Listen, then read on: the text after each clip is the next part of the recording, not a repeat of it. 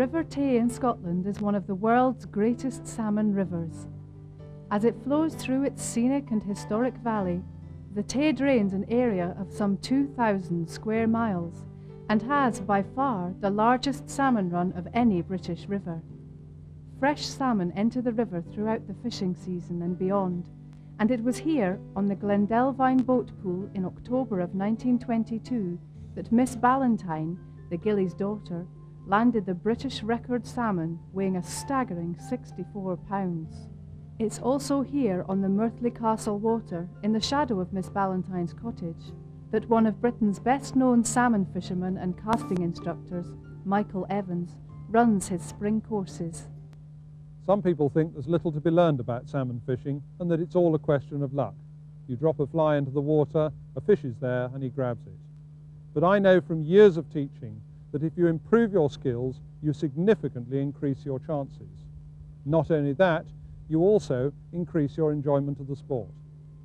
As a full-time professional fly fishing instructor, tackle designer and writer, Michael travels as far afield as Arctic Russia's Kola Peninsula and Iceland's legendary volcanoes, accompanying groups of anglers in search of some of the world's best Atlantic salmon fishing. Michael's tackle designs include his Specaster and Arrowhead range of rods and lines, which you'll see in use throughout this video. The new specially designed Arrowhead Salmon twin lines have a unique profile that makes spey casting easier, with extended front and rear tapers and a weight compensated belly. They're ideally suited for the casts shown on this video. Together with Michael Evans' unique Specaster and Arrowhead rods, they make the ideal all-round balanced outfit for the casts and techniques shown here. In these videos, we'll join Michael on one of his Tay salmon fishing courses and also take you to Russia and Iceland, always concentrating on teaching sound techniques and giving practical advice. For most salmon fishing, Michael recommends a 15-foot, two-handed salmon rod with a suitably balanced reel and line to match. A lovely way to fish this. If you're learning some of these casts for the first time, it's best to use a floating line. And for safety's sake, always tie a piece of wool to the end of the leader, not a real fly. Although Michael isn't wearing glasses for the purposes of filming, you should always wear some form of eye protection when practicing casting and fishing. And finally, take sensible safety precautions when on or near the water. Always wear an appropriate life jacket and use a wading stick.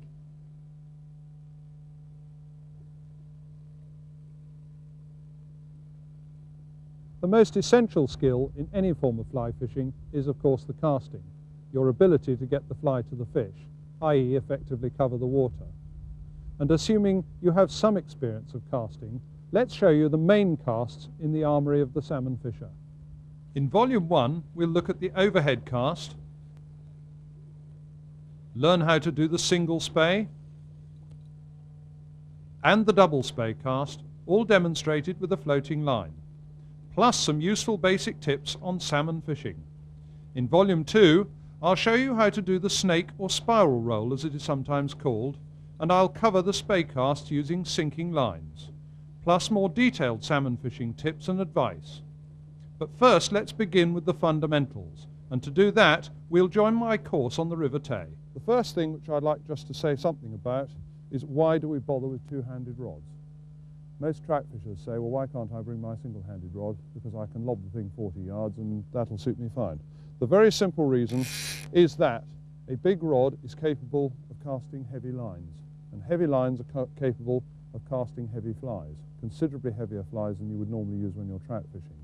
And that is the only reason why we use big two-handed rods, because in order to cast, in this case, a weight 10 line, the power of spring required to actually cast the line out is too powerful for one wrist to be able to cope with, and therefore to have two hands makes it easier than one. And that is why we have two-handed rods. And the way I like to suggest people hold a salmon rod is to put the butt of the rod into the left hand there, drop the arms straight, literally lock up so that wherever the right hand meets, that's where you should hold the, hold the handle on the rod. And the grip should be very, very light. The reason why we hold the handle in that position is so that the two hands will work immediately opposite the shoulders. in exactly the same way, if I didn't like you, I wanted to bash you on the face, I'd hit you from there. I wouldn't wave my arm about out there because that is where the muscles at their most efficient and that is therefore where you're going to need to use the minimum of effort to do the cast. There are two fundamental principles that apply to all the casts. The first is to make the spring of the rod do the work. In order to show you how to use the spring of the rod, let me just demonstrate this. If we hold the rod like this and we just push it backwards and forwards, you can see that the spring hardly bends at all.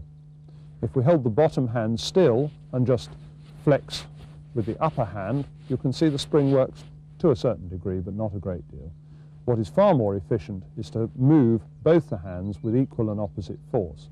And the easy way to think of this is just imagine you've got a piece of mud stuck on the end of the rod and you just want to flick it away as far as possible. And you literally flex the uh, wrists and forearms, and you'll see using equal and opposite force with both hands, and the rod spring loads and then flicks forwards as if we're trying to flick that piece of mud as far away as possible.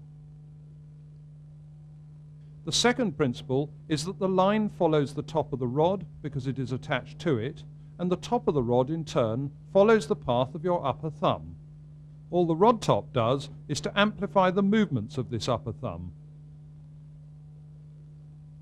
You don't need to be a good caster to catch a salmon, but I don't know many good salmon fishermen who are not good casters. In the next section, when we move on to the specific casts, I'll talk about the positions of the rod during the cast by referring to a clock. At the 9 o'clock position, the rod is level with the surface of the water. At 10 o'clock, it's raised higher, and as I say sometimes, pointing to the tops of the trees on the opposite bank. Then higher yet to 11 o'clock, and then the 12 o'clock position when the rod is pointing straight up. Behind the caster now is 1 o'clock and 2 o'clock and so on. So when I say stop sharply at 10 o'clock, I'm talking about the rod position, not telling you to take a mid-morning coffee break.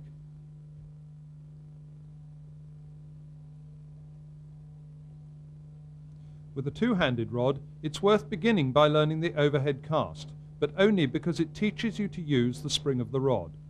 As you'll discover, the overhead cast isn't as good as the spey casts because the spey casts are much safer.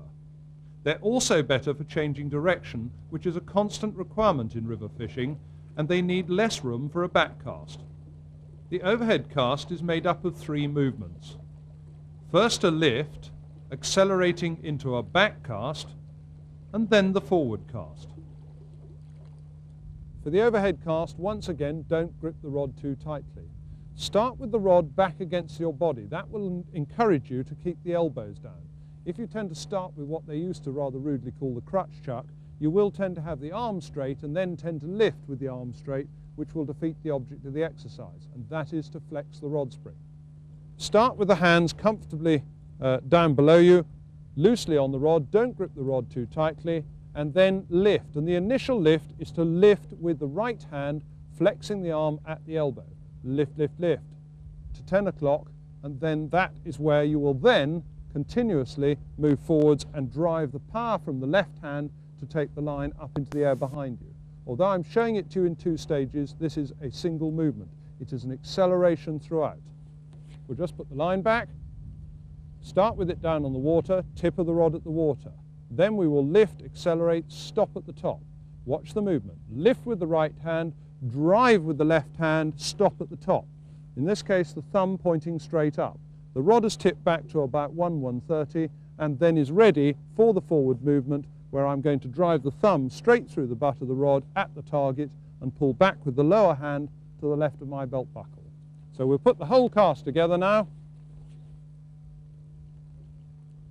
Start on the water, tip of the rod at the water. Lift, lift, lift, flick, stop at the top, forward to the 10 and deliver. It's the forward movement, finally, that you want to be careful of because the forward movement must be to pull and push with both hands to drive the rod spring. And you'll notice that when I'm finished, that arm is still bent. I have not launched forwards, tucked that under my right armpit, and then thrown forwards. So if you find you're finishing any of the casts, spey cast or overhead cast like that, you've used too much shoulder and thrown it. If the overhead cast is done correctly, the line should travel backwards and forwards very close together. We call this in fly casting terms a tight loop. If you move the rod in a wider arc, that is to say instead of stopping at the top, you stop much further back and or you move much further forwards and throw with the right arm, the top of the rod moves through far too wide a path and you will see that the line forms what we call a very open loop and this is extremely inefficient because an open loop will not cut through the air nearly as efficiently as a tight loop.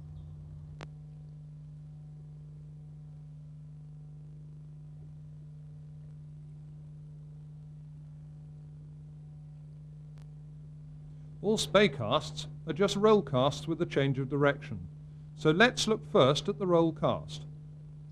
Now all roll and spey casts depend upon a loop being formed. This is a loop between the rod top and the water, a loop of line which is then flicked out to the target. Now this loop is often called the D loop because when looked at from the side it looks a bit like a figure D with the rod as the upright. Now the roll cast consists of three movements, not two as many people think. It is, first of all, a lift, just as we had in the overhead cast. The second movement is to sweep the rod out, round and back behind you, lifting slightly until your thumb comes up level with your ear. Once you're in this position, the left hand or the lower hand on the rod should have moved out so that you are ready to flex the rod forward for the third movement, which is the hit or tap forwards. Effectively, when you're doing your roll cast, you should be able to lift the line off the surface and almost make it hesitate in mid-air with it straight, ready to be swept round to the side. The line will then drag out, around and behind you with the fly skidding through the surface of the water coming towards you. You then pause whilst the D forms behind the rod once you've formed the D-loop behind the rod, you can then flex the rod using both hands to drive the loop forwards. And this is a short, sharp tap forwards. It is important for all the roll and spey casts that some line stays as an anchor on the water at the bottom. It is not a cast where uh, the line is flicked into the air behind, like the overhead cast.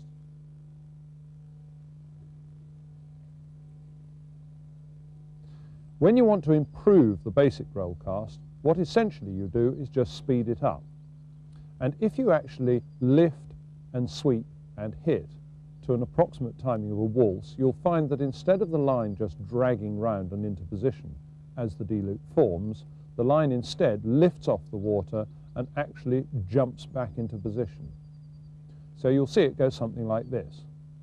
Lift two, three, sweep two, three, hit and in doing so, the line has lifted off the surface of the water from where it was lying below, is swept round, and as it comes back behind and forms the D-loop, just the last three yards or so alights in the water as the anchor prior to the launch of the roll cast. And it is this jump roll cast, as I call it, that is another essential learning stage of the spey casts.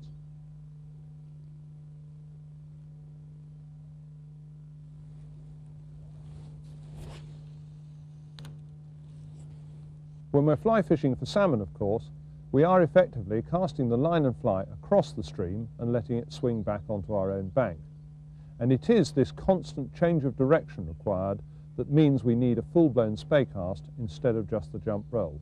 It is the ability to lift the line from where it swings onto our own bank and therefore is effectively dangling below us, to lift it up, out and project it out across the stream again. Which spey cast you use depends entirely upon the wind direction, because they're designed to keep the D-loop safely downwind and away from the caster at all times. In an upstream wind, we always use a single spey cast, and in a downstream wind, a double spey cast or a snake roll.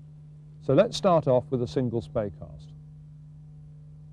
As with all the spey casts, you must first face the target. It is very important that you are square onto the target, ready for the final hit before you start. Having started like this, you will then go through exactly the same movements we did for the jump roll, but you will change direction during the sweep.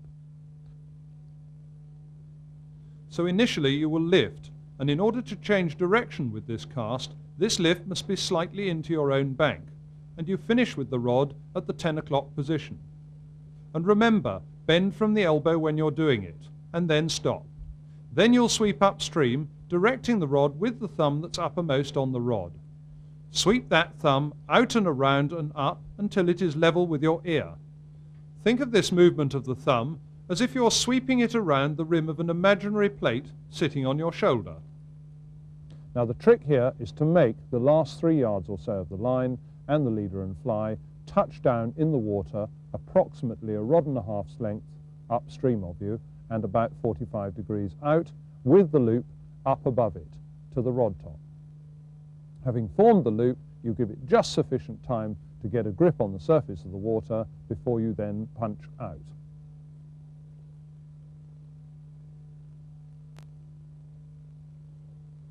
Start with the hands crossed over so that the rod is pointing at the line in the fished out position. Hold the rod loosely. There's no need to grip the rod tightly because all you'll do is restrict the movement. Then you're going to lift slightly into your own bank. We lift up, stop. Then, as we go out and round, we swivel the rod round, back and up. And it is essentially the movement of this thumb that creates the loop. Because having lifted it off the water, if you look, we lift to there and stop. And it's the movement of this thumb round and up that essentially creates that D-loop. It is that movement that is creating the D-loop. And the path of the thumb will dictate how high or low the line comes through the air and therefore how much will strike the surface. If we move the thumb too low, too much line will drop into the surface of the water too soon. If we move it too high, it'll miss the water altogether and scoot upstream and not form the D-loop. So it is the track of this thumb out round the plate and back up to the ear there which will create the loop before we cast forwards. But remember that all these casts depend on getting each hand to do its part of the work. You must swivel the rod with both hands during the upstream sweep. The upper hand guides the line. But if you don't use the left hand to steer it into the water beside you, you will find that it will land in a heap. If I just lift up now and just wrench with my right hand there, you see the way the line and fly skidded upstream? There's no way that'll come off in a month of Sundays. And that was all a product of just pulling with the right hand. Whereas if I steer and push out with the left hand, it will straighten the line, and the line will land rather like an aeroplane coming into land instead of like a nasty pile of spaghetti. The final movement with all the Spey casts is a short, sharp tap forwards, driving your upper thumb through the rod and stopping at 10 o'clock. It is not a massive heave or throw, it is a sharp tap and stop towards the tops of the trees on the opposite bank. Just lean back, look up and relax and let the rod spring do the work.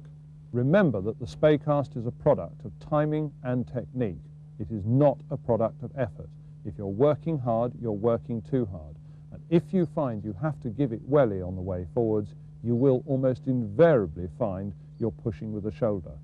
A good way to spot this is to see where you are finished once the cast is complete. If you are finished with the right hand thrust out straight and the left hand under the right armpit, you invariably have pushed with the back and shoulder, and this will form an open loop. If, however, you are finished with both arms and elbows bent and the left hand tucked into your belt buckle, you have flexed the rod and not thrown it forwards too hard. Now you will find when you start to practice this particular cast that there are two particular adjustments that are essential to get it right. Let's start off with the amount of lift. Well, if you don't lift enough, the line won't come unstuck. If you lift too much, all the line comes off the surface of the water and you'll lose the tension for the next part of the cast, which is the upstream sweep. When you move on to the upstream sweep, you will see that as you track around and upstream, that the rod top just very slightly dips down. And it is this dip that we're forming by moving our thumb in the same path that makes the line touch down on the surface of the water. If you don't let the rod top, i.e. the thumb, dip low enough, the line will actually miss the surface of the water, whiz on upstream and effectively create a back cast of an overhead cast, which is no use. If you dip it too low, too much line will actually crash into the surface, and when you come to try and lift off, it'll all get stuck. So what you have to do, and this is very important and not as easy as it uh, sounds, you have to be able to see the line touch down on the surface of the water. And the best advice I can give you at this stage is to say, don't turn the head to look at it, but just stare straight ahead at the target and see it out of the corner of your eye. That way you'll see the splashdown and you will be able to make the minor adjustments of either keeping the rod higher or lower through the sweep upstream to make the correct amount of line touch down on the surface. And here, and most importantly, you will find that the pressure you need to give the final hit will be entirely dependent on how well you have set up the cast in terms of the amount of line landing in the surface and the quality of the loop forming behind the rod. If you discover that you need to use lots of effort and there's a huge as the line peels off the surface of the water on the way forwards, you've obviously lowered the rod too much on the way round and put too much line in the water. If you just hear a thing that sounds like a pistol bullet going off, a sort of behind you, you'll know that you've taken the rod too high, the line has failed to hit the surface of the water, and the fly is cracked as you change to the forward hit. So try and adjust the lift and the sweep to make the correct amount of line land in the water. Practice makes perfect, but don't forget you'll need to make an adjustment for your height above the water. You can be getting it just right from the bank, but then you find having moved down into deeper water, all of a sudden, the one that you've just got used to, which puts the right amount in the surface of the water, suddenly leaves too much and it won't come up. And you'll see the deeper you get, the higher you must lift there and the higher you must keep the rod there before you tap forwards. If you don't, you won't get the cast set up right. And then you'll do what everybody does, which is to say, I can't get the brute to go out, so what do they do? They try harder. And what they do is they go like that and they heave forwards and open the loop up. And the moment you open the loop, you're lost, particularly if the wind's blowing towards you. Final things in terms of the faults. We've dealt with the amount of lift. We've dealt with the amount of dip to make the right amount of line strike on the surface of the water. Is remember, don't show people your armpits, show them your muscles. And if you lift this right arm up too high there, you will pull through the cast like that and spoil it. If you keep the elbow down and fire it, it will go. You must keep the muscles or, or, the muscles close to the body in a position where you can deliver a short, sharp, smooth delivery of force straight through the rod at the target. So a good idea if you're learning the cast and you find it simply not working for you is actually to lift, sweep and stop and see where you've got to. And if you find that elbow or that arm is way up in the air there, then try and hold it down for the next cast. Don't just carry on regardless.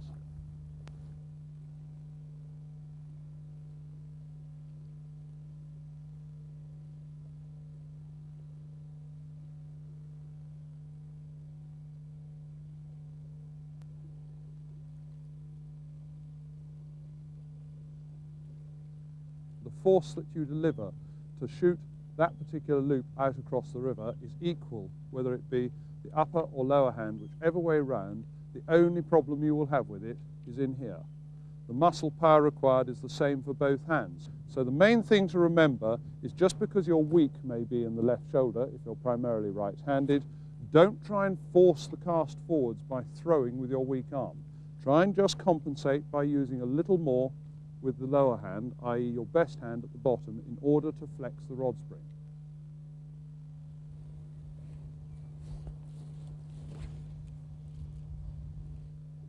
The double spey cast is only used in a downstream wind because the wind keeps the line and the fly away from the caster. Indeed, it is essential for safety that the fly never goes upstream of the caster during this cast. It involves sweeping enough line upstream to create a loop of line under the rod, and then switching that loop downstream so that it remains safely downwind of the caster. Then, as in the single spey cast, that loop is tapped out across the water. And the movements of the double spey cast go like this.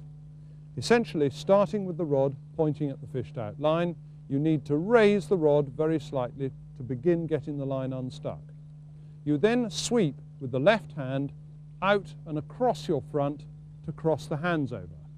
This does two things. First of all, it draws sufficient line upstream to form the loop, and secondly, it gets the hands crossed over, ready for continuing the movements we've already dealt with on the single spey cast.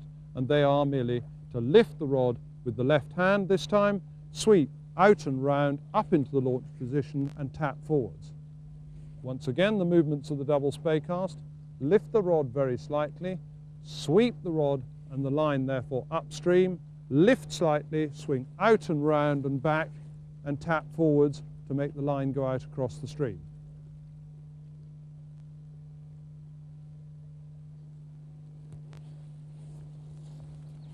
From the other bank, the movements are the same, only the right hand is uppermost on the rod. Let's look at the hand movements. Lift up, sweep low and slow, up, up, round, back, and tap forwards. Getting the timing right on the double spey is essential because we must reach the exact moment when the least amount of line is on the surface of the water before we punch out. And the best way to judge that is to watch this little surface riffle as the line peels back down and round into the new position. There's where the line hisses through the water. Let's see it again. There's the lift, there's the upstream sweep, then you switch back round, the line comes off the surface and we launch forwards. Immediately that hissing comes to an end. Lift, sweep upstream, switch back down, there's the riffle as the line changes direction and we tap forwards. Remember two things. First of all, when you lift and you sweep upstream, don't raise the rod top too high because if you come up there, as you swing back downstream, you will dump the line on the water and it will not lift up properly.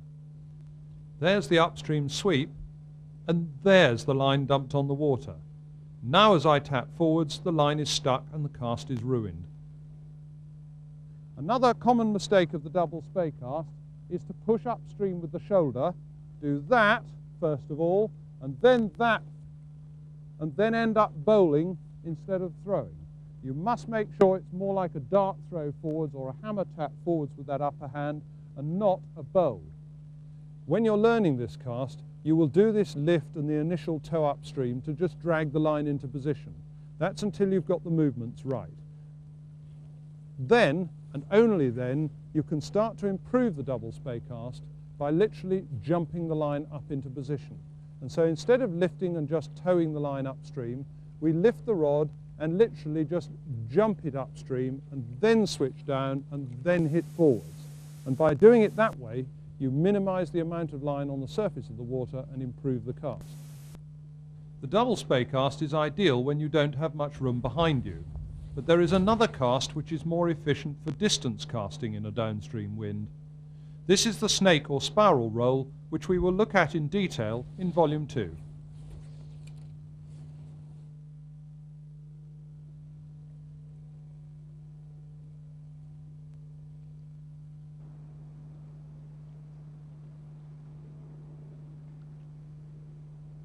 In fishing for salmon, you'll come across all types of pool. Really, there is no such thing as a typical salmon pool, but most consist of three main parts. A neck where the fast water flows in, a body or dub, which is the deeper, slower part of the pool, and the tail or runoff where the current speeds up and leads into the rapid once again. To know where the salmon are likely to be, you must first judge the approximate height and temperature of the water. If you can see exposed stones or shingle, the water is relatively low for the time of year. If you can see submerged vegetation, the water will be relatively high. We'll look at reading the river in more detail in Volume 2, but for now, good general advice is this. When the river is high or cold, concentrate your efforts on the deeper dubs. But in low or warmer water, concentrate on the faster water in the necks and tails. When it comes to choosing a fly, I'm more concerned with the clarity of the water. In coloured or peaty water, I like to use a large, brightly coloured fly, and in very clear water, I would use a small, subtle fly. The overall intention is that the fly is seen by the fish and appears lifelike.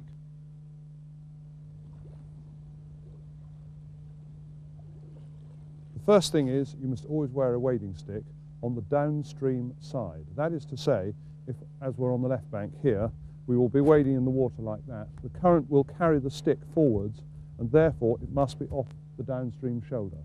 All right, that is very important because if you get into difficulties at all and you're wading out and you're casting down the river and suddenly you come across a hole, it is there right in front of you to stop you. If you have it on the wrong shoulder and say I was on the other bank there, and you have it dangling in the current like that, and you get into trouble, sooner or later you will fall over the thing and it will trip you up. Okay, that's the first thing. A couple more things on the subject of wading. Be very careful of banks like this, because generally speaking, water will tend to come round and undercut the bank. And so one of the biggest mistakes you can make is to step down to the water like this, stand on the edge in order to lower yourself into the water and the bank collapses. And that is one of the easiest ways to literally break a leg on the side of a river. The best way to get into water off a steep bank is very simply this. It's a bit undignified, but it's a very good way to do it. Just walk down, kneel down. It's one of the reasons a lot of waders have kneeling pads. And then you have distributed your weight over the full length of the uh, lower part of the leg. Put the stick back down into the water there, make sure you've got the correct depth, and literally walk back in like that. Even better coming out again, if you kneel, you just go like that, walk a decent distance away from the riverbank and stand up. When you get into the river itself, the most dangerous part is not out there, it's right here. For the very simple reason, in lower water, the light and heat gets through the thinner water and effectively warms it and creates stuff that makes the rocks very, very slippery, algae. And the most dangerous place that you can wade is in the shallow water because that's where it's most slippery and that's where the bulk of your weight is above the water. The other thing which is very important is out there you're just that little bit more wary of falling in and you pay more attention and concentrate harder on the wading. And I've seen so many people go out there, wade perfectly safely down the deepest part of the stream. They'll even take it carefully, starting to come out the river, and then they go, ah, oh, that's all right then, striding across the shallow bit and fall flat on their face. So do take care when you come out. When you're in the stronger stream, the best thing to do is to stand sideways onto the current because you present a much thinner profile to the current to get, for the current to get a hold of. You stand here and you fish out sideways on. If you find yourself walking down the pool and it gets a little bit deeper and you're into about there, be very careful of getting frightened and panicking. Because if you panic, the first thing you're tempted to do is to try and turn round to head for the bank. The moment you do that, particularly if you're of ample proportion in the rear end like I am, you present a large surface area to the current and it is at that moment you will get swept away. So if you get into trouble at any stage, when you're at this sort of depth, all you have to do is edge your way back towards the bank like this downstream. Don't try and go against it, just edge your way back until you get the fork out of the water. Once your fork is out of the water, then and only then turn round. Lastly, on the subject of wading, an absolute fundamental rule is never climb onto anything out in the river. If you come across a lovely flat stone, even if it's out of the water, in the middle of the river, under no circumstances get onto it. The downstream uh, end of a rock invariably scoops an enormous hole out behind it, and the current, when you try and get off, even if you do the kneeling trick, when you try and get off, the current will sweep you away into that hole on the downstream end. So you'll wade up to it from the upstream end, think this is great, climb onto it, the current's too strong for you to get off going upstream, and then you'll fall into the hole behind it.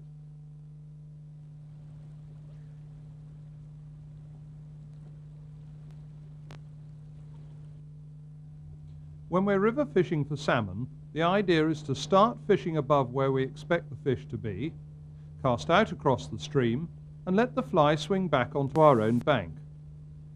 With each cast, we move down the pool, thereby effectively covering the water.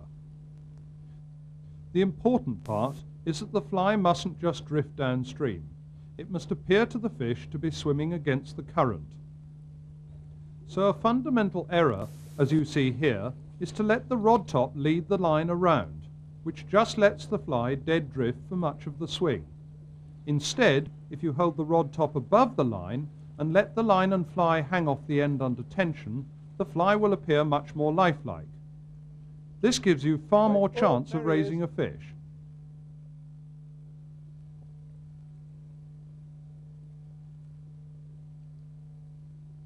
On my course I demonstrate how much pull you can exert with a salmon rod.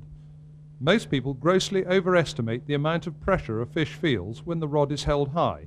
There is very little force being exerted here. To set the hooks in a salmon's mouth, which is quite hard and bony, apply the initial pressure with the rod held low, as you would if you were trying to get the fly unstuck from a rock. That puts on the pressure to drive the hooks home. Then raise the rod to play your fish. You hold the rod high so that the spring cushions any sudden movements and stops the line being broken. You can try this exercise yourself to know how hard you can pull when you have a real fish on. There's one. Let it go. Feel the weight? Yes. I have experimented with a number of ways of hooking salmon, and here are just a few. Ah, ah, lift in, pull like that. And he's on. Lifted firmly straight into him. But the best general advice I can give oh, is to raise is. the rod only once you've felt the him. weight of the fish. As the following sequence shows, do not be tempted to strike too soon. You very often have a salmon follow you round, and he's literally sitting three or four inches off the tail of your fly. And the action of you pulling it away from him makes him just lunge out and grab for it. There was one, but he never touched the fly at all, never felt anything. You need nerves of steel for this. You must not move, you must not strike. It's most important to give the fish time to turn down. There May come again. Every muscle in your body wants to lift the rod, and you mustn't until you feel the weight of the fish. Oh, oh. oh, oh. Often lessons learned when playing fish are painful ones, and there is no substitute for experience. In the hope that you might remember in the excitement of the moment, too. here's some general advice. Firstly, don't make the mistake of trying to yank the fish into the shallows too quickly, because he can break the line on rocks, or thrash about on the surface, and that's often when the hooks come out.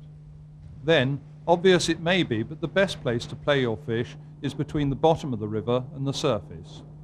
And in deeper water, there's more chance to do that. It's important to keep the pressure on the fish because some fish will even try to rub the hooks out on the bottom, as this Icelandic fish was determined to do. See him trying to rub his nose on the bottom. It's equally important, if the fish jumps, that you lower the rod top to slacken the line at that moment. And as a general rule, when the fish runs, let him go, and when he stops, put the pressure back on. Then when you've finally decided it's time to come to the bank, Right, having got him under control, I just hold the rod out to the side like that. Don't worry about that. Just let him go and walk to the bank. The one thing you mustn't do at this stage is fall over. Having got up to the bank, you can then try and bring matters under control again. If you fall over, you'll almost certainly snatch the fly out of the fish or break. the best way to land a fish quickly is with a net, preferably handled by an experienced guide or ghillie. If a net isn't available, you can usually beach a fish, although it takes a little longer. Always try and land the fish upstream of you. Then if the hook comes out, you still have a sporting chance of getting hold of it. Up and on the bank, head up, and let him flap his way out of the water. Walk calmly round behind him. Now if you intend to release your fish, don't lift him into the air by the tail, because this will strain his ligaments.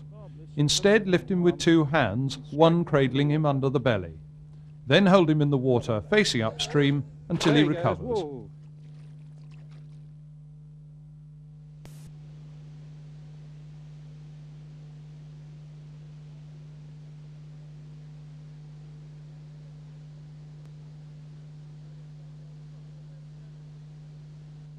One of the joys of salmon fishing for me is that they can be very unpredictable.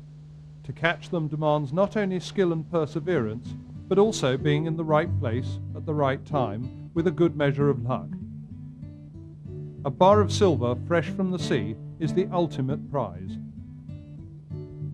We've had a very successful morning, a lovely brace of spring fish, both caught on the fly and both caught from the bank.